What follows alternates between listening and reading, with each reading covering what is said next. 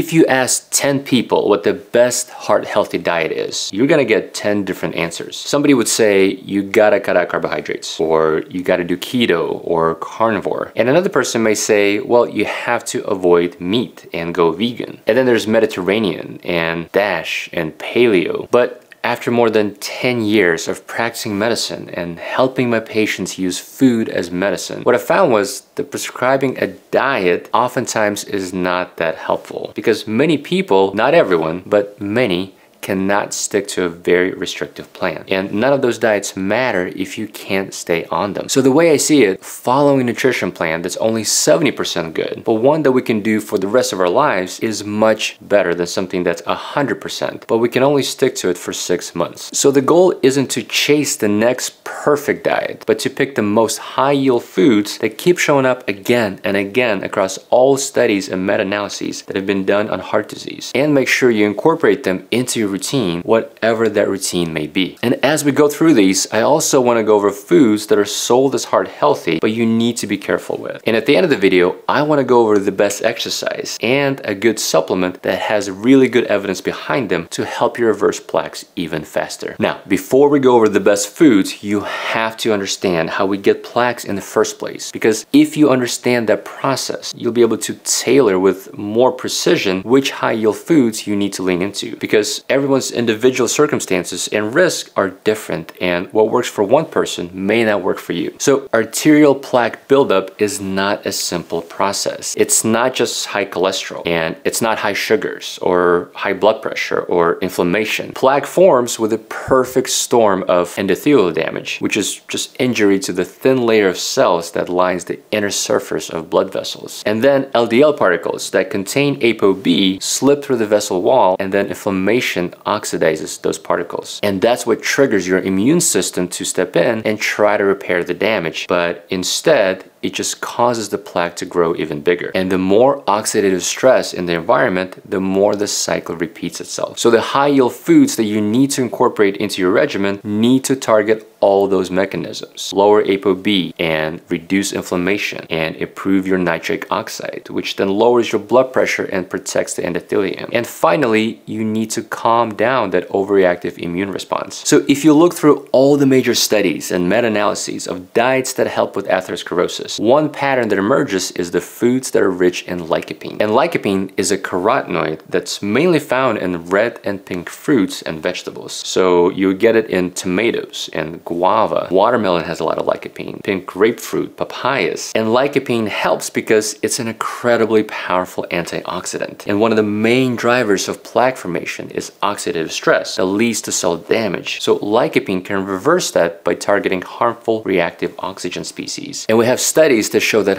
high carotenoid levels may slow early stages of atherosclerosis progression. And there was an observational study out of Finland that suggested that lycopene or processed tomato intake may reduce carotid atherosclerosis. Now, another recurring theme that I see in all of these studies is phytosterols, which is just a natural plant compound that's found in nuts and seeds, especially flaxseed and sesame seeds. And you can also find phytosterols in legumes and whole grains. And in many fruits and vegetables like carrots and broccolis. And uh, you can find them avocados and in many leafy green vegetables. So phytosterols look almost identical to cholesterol. And when you eat them, they compete with cholesterol for absorption in your intestines, which means less cholesterol can make it through and get absorbed. But that's not where the magic happens. Because when it comes to cholesterol in our blood, most of it does not come from cholesterol that we eat. It's the cholesterol that's produced internally by our liver. So how this whole process works is the liver senses a drop in absorbed cholesterol and because your liver tries to maintain its own cholesterol balance and homeostasis, it starts pulling more LDL particles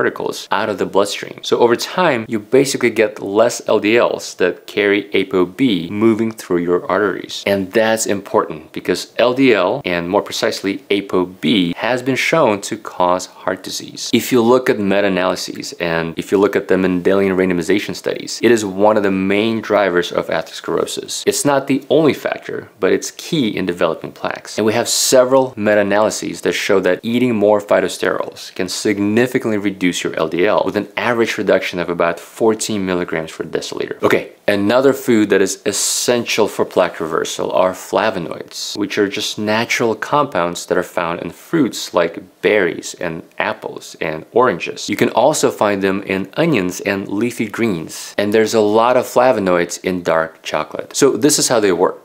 When plaque builds up in your blood vessels, it starts with LDL particles getting trapped and damaged in the inner lining of your blood vessels. And this LDL particle starts getting oxidized, which makes the whole area very sticky. So white blood cells called macrophages are drawn to that area and they cause inflammation. And this whole process is what makes the plaque grow. So this is where flavonoids come in. They lower that adhesion molecule expression. Basically, they make arterial walls less sticky so fewer cells can attach. And that in turn lowers inflammation and it helps macrophages work in a calmer way. So they don't turn LDL into its damaged and oxidized form. And one subset of flavonoids that is especially important is catechins, which you can find in green and black teas. And there was a meta-analysis that looked at nine prospective studies that showed that drinking three or more cups of green or black tea is associated with a 21% reduced risk of stroke compared to the consumption of less than one cup per day. Now,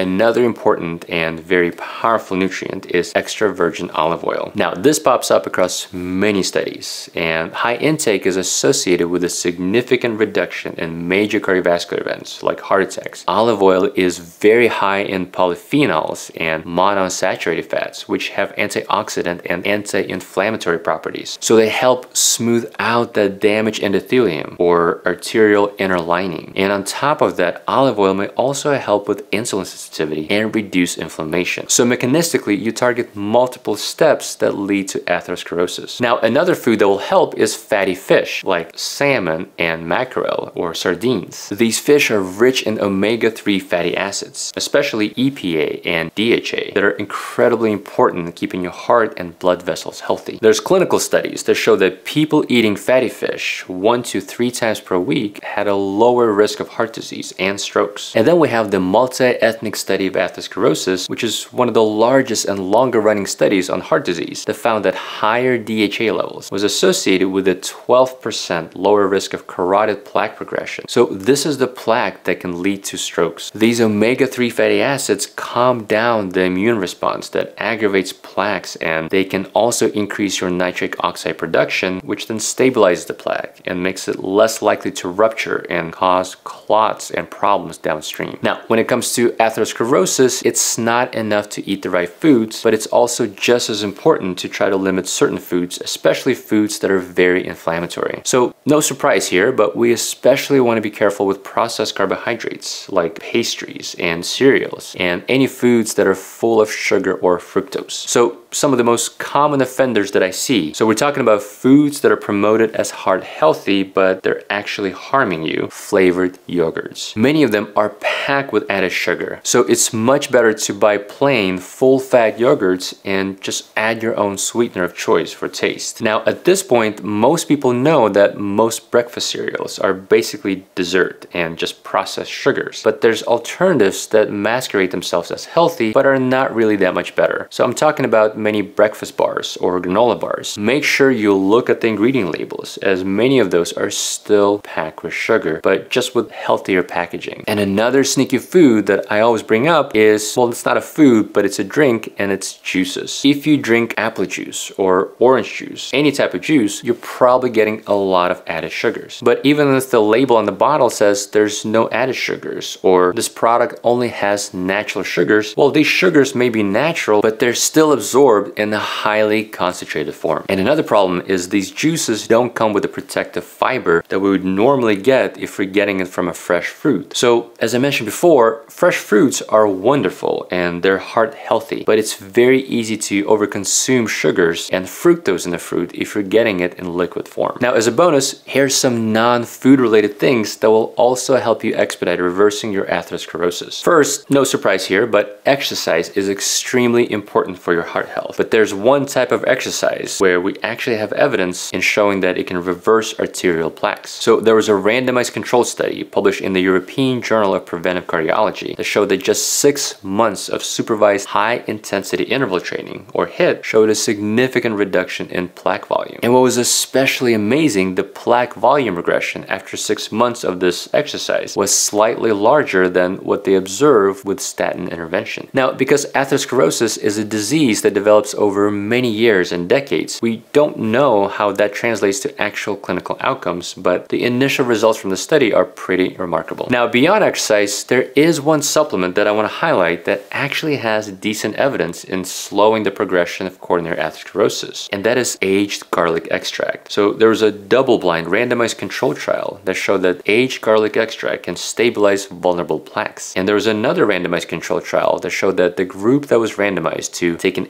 aged garlic extract for one year had a lower progression of coronary artery calcification and improved blood pressure. Now, one more bonus tactic that I recommend to my patients that may help improve cardiovascular health, and that is sauna therapy. Now, this is not something where we have direct evidence that shows plaque stabilization or regression with sauna, but there's plenty of indirect associations. So there's studies that show a link between sauna bathing and improvement in endothelial function. And there's meta-analyses like this one that show that sauna can help with blood pressure. Now, most of the evidence is based on observational and mechanistic data, but there is enough indirect data that supports its health benefits. Not just when it comes to heart disease, but there's also also linked to a significantly lower risk of all-cause mortality. So based on the current imperfect evidence, I still think it's a worthwhile intervention to try if you have access to saunas. All right, I hope this was helpful. Stay healthy, and I'll see you in the next one.